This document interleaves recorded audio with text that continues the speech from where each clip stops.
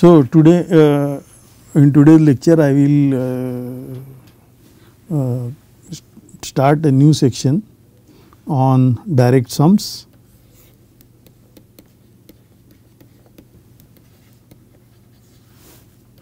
and projections.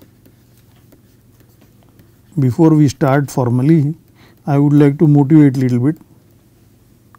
Um, uh, direct sums is a concept uh, which will be which will play very important role in the investigation of linear maps especially and it is also a generalization of a concept of basis that you will see in a minute and uh, the projections are special kinds of linear operators on a vector space.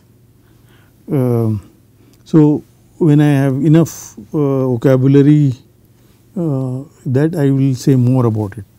So, as usual we will say k is our field scalar field and V is k vector space.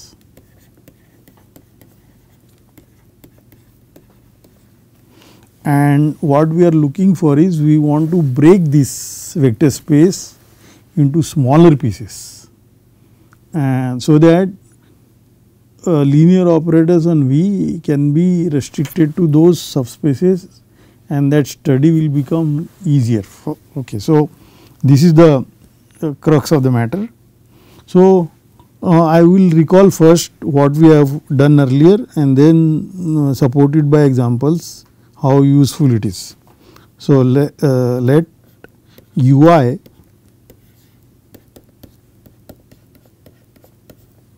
be a family of k subspaces of V.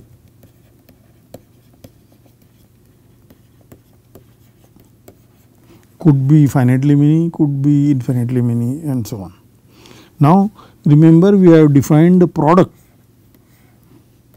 on the product set Cartesian product set we have a vector space structure here which is component wise addition which is coming from ui and component wise scalar multiplication and the elements here we are denoting by i tuples ui i in i these are i tuples. Yeah. So, and we have considered a subspace of this that we have called it direct sum, direct sum ui. This is a k subspace of this bigger one. Precisely all those i tuples for which ui equal to 0 for almost all all i in i and this this we have called a direct product.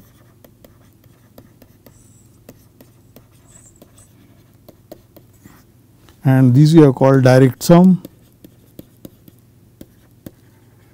of the family ui.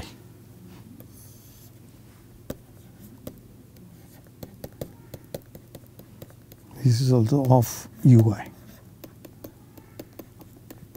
In general they may not be equal especially when i is infinite then they are definitely not equal. Um, if, if all of them are non-zero and in finite case they will always be equal. So, if you have finitely many u1 to un subspaces then if you write like this direct sum that is same as the direct product because there is no condition on the tuples. So, in this case also we know their dimensions dimension of this will be precisely the sum of the dimension not only dimension you will also know the uh, basis. If you know basis of u1, basis of u2, basis of un, then you can putting together and by adding zeros to the other components we will get a basis of this. So, this is what we have seen earlier and another thing another uh, construction we have seen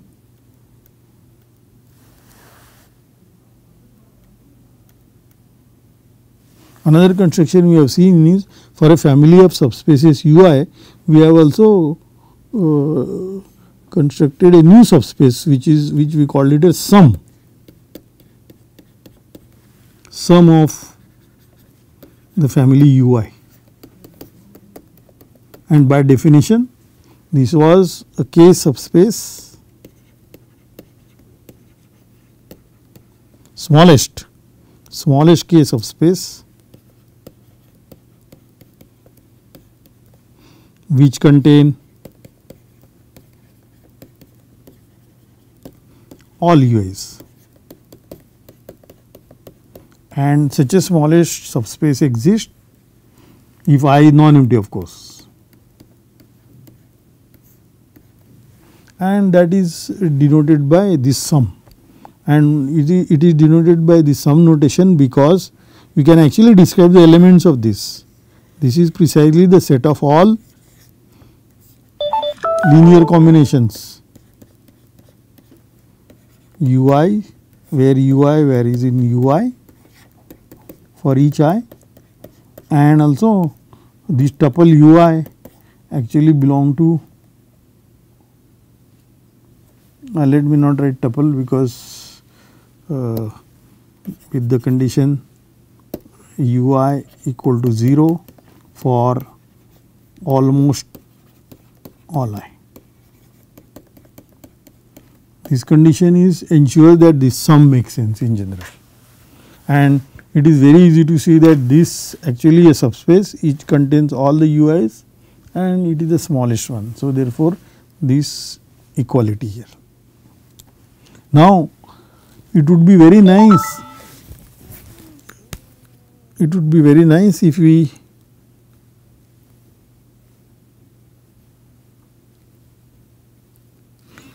uh, to compute a dimension of the sum for example, even for uh, a sum of two subspaces we had to use uh, a dimension formula because that is uh, like inclusion exclusion principle in linear algebra. So, it is not quite easy for many subspaces how do we compute the dimension. Okay. But there definitely there is one nice linear map from a direct sum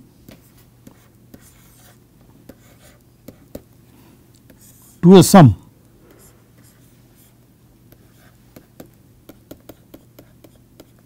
What is the map? Any element here is a tuple ui i in i with the condition that almost all ui's are 0.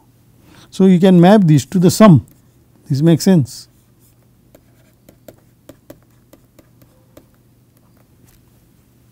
And this map is obviously k linear map.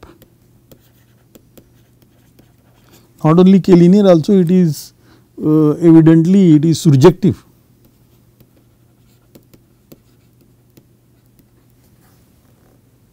Because any element of this sum just now we noted any element of this sum is a sum like this and that sum has only finitely many components could be non-zero and so it is coming from the corresponding tuple. So, if we can manage to compute the kernel then we could use rank theorem to decide what is the dimension of this. And it would be also nice uh, if this is an isomorphism, because if this is an isomorphism then this dimension will be equal to this dimension, this dimension we know it is sum of the dimensions of the US and therefore, this dimension we would know. So, it is interesting to note when I will characterize soon uh, characterization where this map is an isomorphism. Okay. So, that is the aim um, first few minutes I will characterize uh, the situation where such a map is an isomorphism. Okay. Uh, if it is an isomorphism, so let me also uh, use the terminology. If this map, if this map it is not obviously it is not always an isomorphism especially when the intersection. So, even for two subspaces where the intersection is non-zero then this map cannot be an isomorphism. If this map is an isomorphism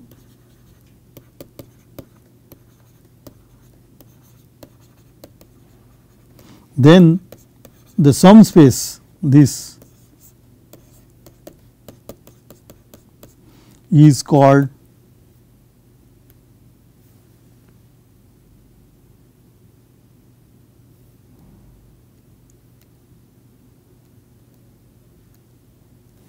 then the sum space is called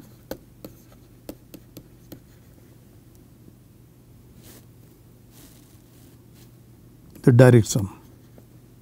Uh, now to, to, to distinguish I will write here internal direct sum and we will write and usually denoted by sum and I will put that plus around circle that is like this ui. We will analyze when the sum is a direct sum soon. Uh, why do we call it internal? Because see all this is happening inside a vector space V. This is this sum is a subspace inside V with additional property that that above map is a isomorphism. That is the reason why one calls it a internal direct sum. Internal direct sum. In the other this notation So, for the same reason it is called external similar reason external direct sum of the family ui. But if, you, if one is careful it will it is visible from the notation because we are using different notations right. The, it is called external because this is not happening inside V, it is happening inside the product space. So, their vector space structures are different. So, that is the reason it is called external direct sum. So, let us see one example to I, to illustrate this. This example will also illustrate that this concept is a generalized see internal direct sum is an extension of the concept basis. So, that is what I want to illustrate in this example. So, V is a vector space. So, let xi i in i be a basis be a k basis of a k vector space V.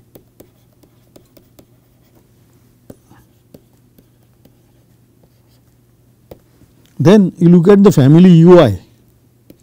ui is a subspace generated by xi for each i.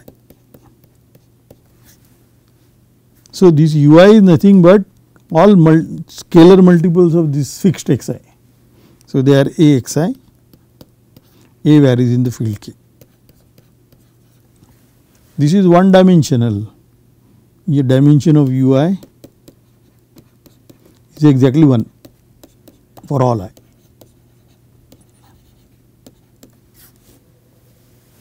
And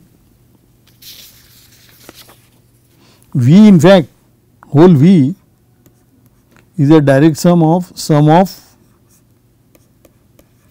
direct uh, internal direct sum of all these k.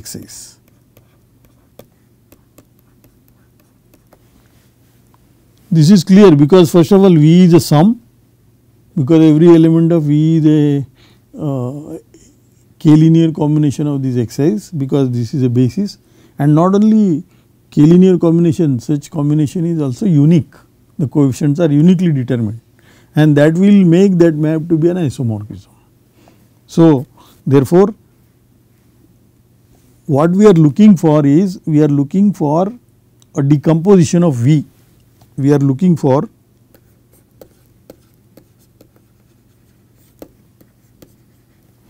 a representation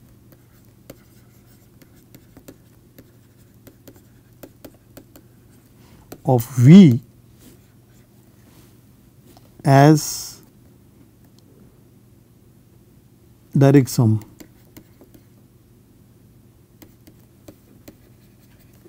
like this. Direct not like this. At least for not getting confused we should use this notation. I in i ui V equal to this. Where ui is a family of k subspaces. UI may not be one dimensional, UI may be more dimensional, may not be infinite dimensional, but we want to break this f uh, V like this and uh, how we choose UI it will depend on the, uh, the linear operator that we want to study on V and what properties we would like to have. So that uh, we can restrict to when we restrict to these subspaces UI we can induct on the dimension and many such problems will become easier. So, uh, so that is that is the idea. So, when the, um, as we go on uh, more and more um, of such uh, examples I will keep uh, saying. So, in this case what, what does this, this direct sum decomposition means? This means V first of all there are two things V should be the sum and every element of V because of this equality every element x in V is, can be written as summation ui i in i with the property that these ui's are almost all 0 for almost all indices i. But such a expression in general may not be unique. And we want to insist now these ui's are uniquely determined by x. And ui are uniquely determined by x. This is precisely the condition of the, the map, the natural map we have from the direct sum to the internal direct sum that map is injective. This is precisely the meaning of that. So, this will make this sum to be internal direct sum. So, that is the thing. Okay. And in this case if I know uh, in this case so, we can do more in this case if I choose a basis for each ui if uh, y y what do I call it? Y j y j as j varies in some indexing set i i is a base is a k basis of ui this is for each i in i. For each subspace you choose a basis and put it together. That means what? You consider then then y j as j varies in the union union of all these ii's and disjoint union i in i this is a k basis of v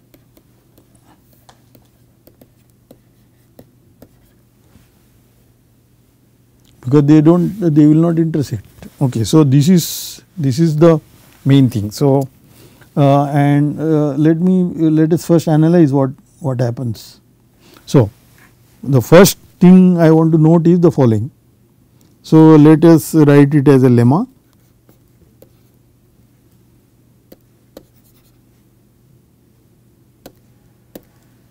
lemma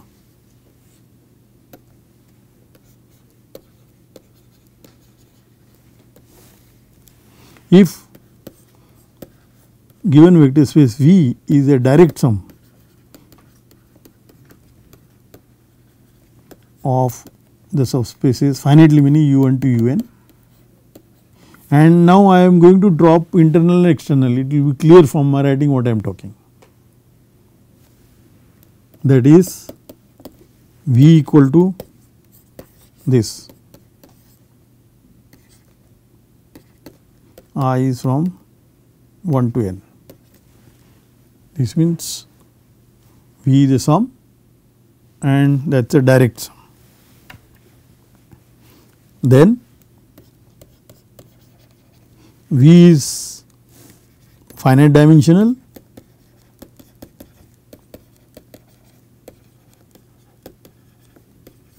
If and only if u1 to un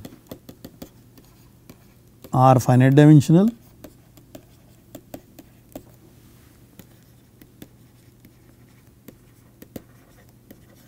And moreover dimension of V will be the sum of the dimensions.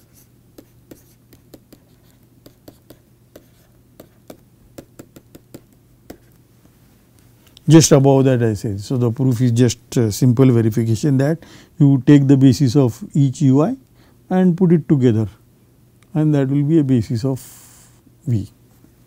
So, uh, this is precisely what we did in a, uh, when we proved the existence we proved that uh, in fact UIs are one dimensional. But sometimes uh, there may not uh, we would like to have a decomposition of V in a direct sums, but with special other properties and that time one dimensional may not exist. For example, when you are looking for eigenvectors, eigenvalues that time it may not be one dimensional and then we will have to. So, this is very. Now, I am going to characterize when the sum is a direct sum that means when that above the first map is a uh, isomorphism and especially the kernel injective. See more important is injective. So, surjectivity is just uh, definition.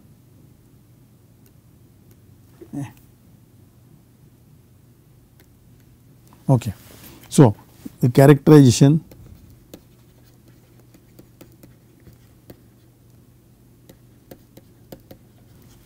for a sum to be a direct sum.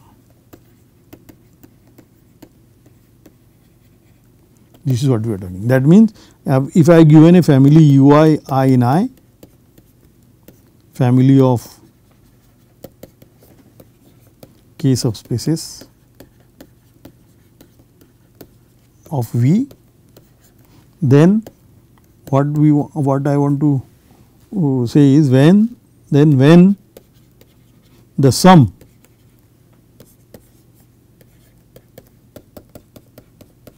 is a direct sum. How does one test it uh, easily? Because to check some map is injective, we have to find a economical way to test when the map is injective. That, that uh, the the given map. Uh, so, the, let us write this in the form of theorem.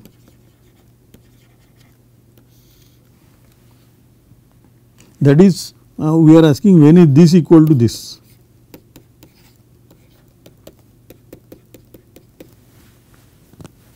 Okay. So, with the same notation as above the following are equivalent.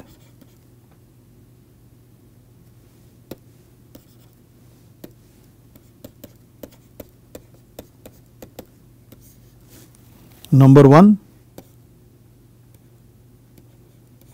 the sum is direct.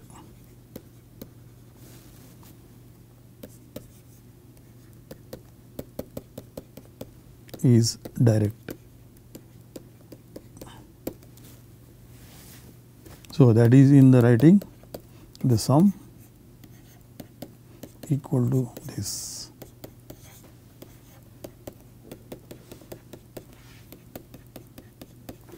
Two for every u element u in the sum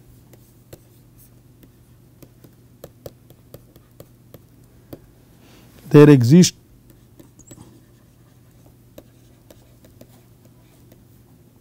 unique elements ui in ui almost all of them 0 with u equal to summation u. See every element has such expression that is no big deal, but what is more important is unique. Okay, third one or let me call it 2 prime.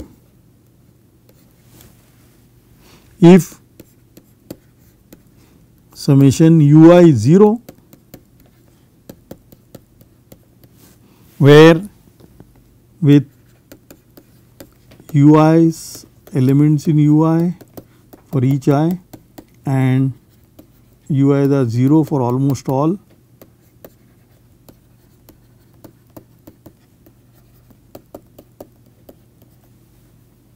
then each ui is 0 similar to linear independence. This is 2 prime. And third, for every j in i u j intersection the remaining sum i in i and i is not j u g, ui this has to be 0. Remember for two subspaces we have defined the sum u plus w is a direct if intersection u intersection w is 0. This is similar to that for, for 2 it is matching with this. So, let us prove this. So, proof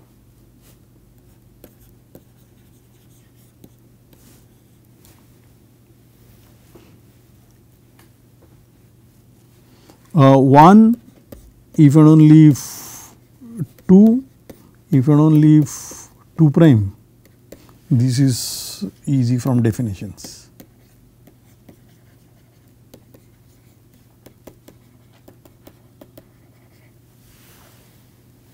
Now, uh, I will indicate the proof um, 2 prime. So, we will prove uh, 2 prime if and only if 3 and that will make equivalence complete. So, first let us prove 2 prime implies 3. That means we have given that uh, if some sum is 0 with each ui in ui and ui 0 for almost all then each ui is 0 then I want to prove that this intersection is 0. So, take somebody common element here. So, let x belong to u intersection i in i, i minus j let me write it ui and j is fixed j in i, j in i is fixed. Then we want to prove this is what we want to prove that x is 0 by assuming 2 prime. Well, x is here means what? x is here means first of all x is in the sum. So, x will have expression summation uh, ui i in i minus j and almost all all i's oh, I forgot here j almost all i for almost all i i's are 0. So, that this sum makes sense. On the other hand this is also in uj because it is in the intersection. So, that means uh, I can call it uj yes call it uj and shift this to the other side. Then what do we get? We will get summation u i now I can write i in i because this j I have added there with a minus if you like. But if uj is in uj then minus uj is also in uj and then this sum is 0 with the property that almost all of them are 0 because at most I have added this uj almost all are 0 and the sum no no 2 prime say that if the sum is 0 then all of them are 0. So, that will imply ui equal to 0 for all i. In particular for i equal to j, for i equal to j, x is uj and that is also 0. So, that means we have proved x is 0. So, uh, the, this is I will I will write here if if more this this part is slightly invisible. So, I will write if the sum ui is 0 by 2 prime all ui's are 0.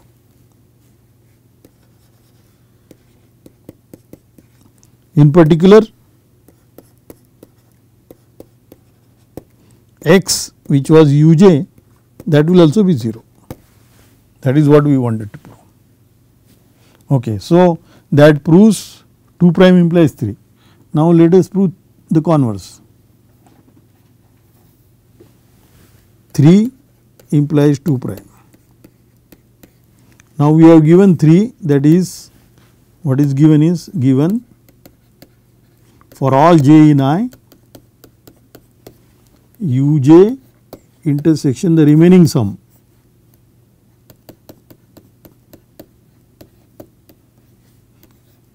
This is 0 that is given for each j and we want to prove that the sums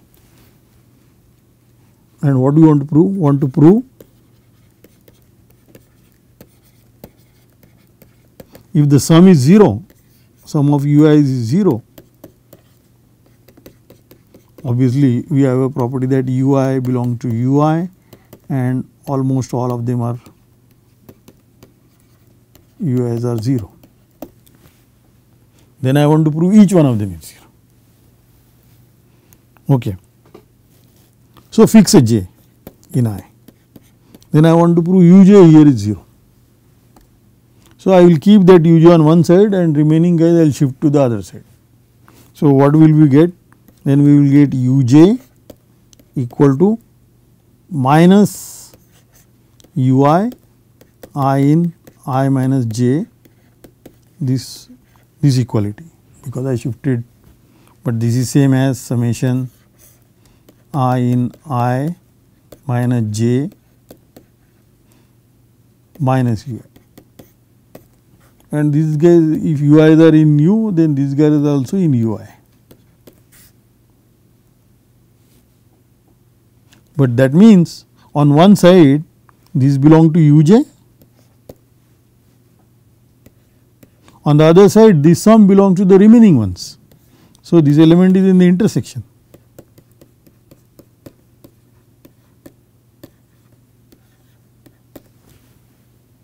but uh, we have given that for each j this is 0 this is by 2 prime by 3 assumption. So, uj must be 0. So, that implies uj is 0 and that is true for all. So, that proves 3. So, that implies 3. So, we have proved that the the to to test some sum is a direct or not we have to test for each subspace intersection with the remaining sum should be a 0 subspace. Okay. So, we will stop and continue after the break.